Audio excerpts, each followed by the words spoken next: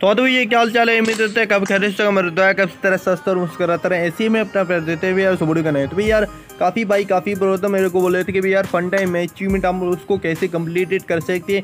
Easy तरीके से इसको हम कम्प्लीटेड कर सकते तो मेरी जानो, मैं आप लोग को टिप्स एंड ट्रिक्स दूँगा। तो यार, अगर जो भी कंप्लीटेड करना चाहता है ना ऐसे अचीवमेंट को, वो कंप्लीट करेगा, सही है?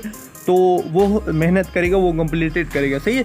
सबसे पहले तो भाई हम यहाँ पे सस्ते वाली चुम्मी देंगे और मैं महँगे वाली भी चुम्मियाँ देंगे ना। तो भाई ये सस्ता वाला चुम्मी है और भाई ये महँगा वाला चुम्मी है और भाई ये एक और भी भाई यहाँ पे देखो, और भी एक महँगा वाला चुम्मी नहीं हो रहा। है पे लोडिंग आ गया यार भाई क्या ही करें, महँगाई चीज़ पे यहाँ देखो लोडिंग आ गया।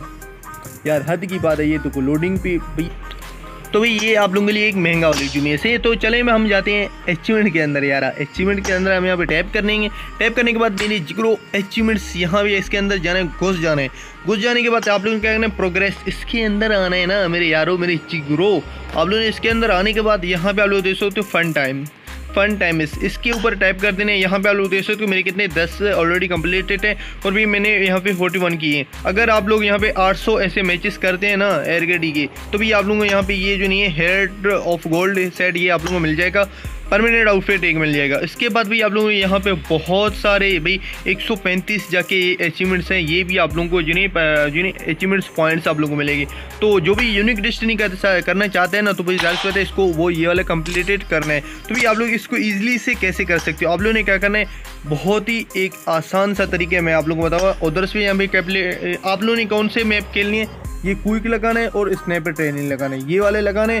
और भी आप लोगों ने क्या करना, आप लोग जब मैच लगाओगे ना तो भी आप लोगों ने क्या करना है जो सबसे रश वाली जगह हो ना, वहाँ भी जाके लैंडिंग करके डायरेक्टली अपने आप को किल करना है सोलो में लगाना आप लोगों को। जब आप लोग किल हो जाएँगे ना तो वापस आप लोग बैक आ जाना, वापस मैच लगा देने ईजिली ईजिली इसी तरीके आप लोग डेली बेसिस के वाले से आप लोग दस बीस मैचेस खेलेंगे ना तो ईजिली तरीके से मेरी जानो, आप लोगों का ही हो जाएगा ना नो टेंशन तो मैंने जानो, आप लोग इसको ईजिली तरीके से कंप्लीट कर सकते हो। ये देखो क्विक मैच और स्नैपर मैच है इसमें। आप लोगों ने क्या करना है, भाई जब आप लोग मैच लगाओगे क्विक लगाओगे या स्नैपर टाइनिंग लगाओगे सही है?